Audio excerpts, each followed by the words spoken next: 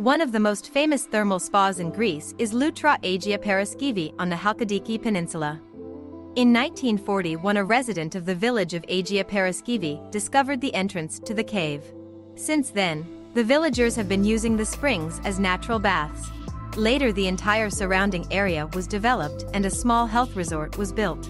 It was only in the early 2000s that the spa grew into a large, modern spa. Today, Loutra Agia Paraskevi is visited by people of all ages who want to relax in a tranquil atmosphere, surrounded by natural beauty.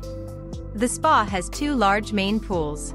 The outdoor pool is on a balcony with a gorgeous view of the sea and scenic cliffs, and next to it you can relax on sun loungers or have a coffee while sitting at a table on the terrace.